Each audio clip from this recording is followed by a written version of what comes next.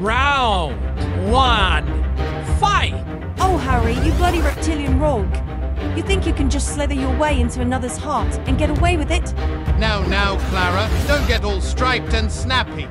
It was just a bit of sunbathing by the swamp, nothing more. Sunbathing, my hoof. You were rolling in the mud with that seductive croc, weren't you? I saw the Instagram pics. Well, Clara, it's not like I can change my scales.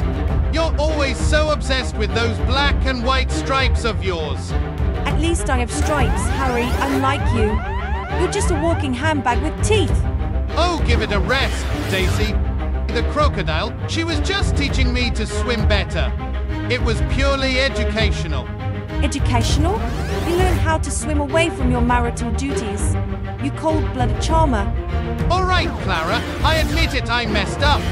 But let's not get all hot-headed about it. We're still a pair, right? A pair? The only pair here, the pair of eyes. I wish I had in the back of my head to keep an eye on you. You two timing to the terror. You bloody hell! You lose!